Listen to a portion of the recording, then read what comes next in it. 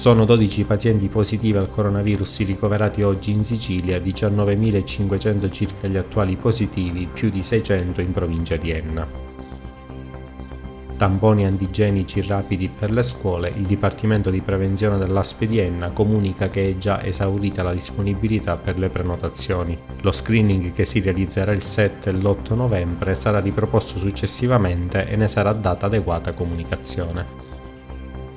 L'azienda sanitaria provinciale di Enna ha assunto 14 giovani medici che hanno dato la disponibilità a prestare la propria opera nelle aree ospedaliere dedicate ai pazienti Covid. I giovani professionisti prenderanno servizio già lunedì all'ospedale Umberto I.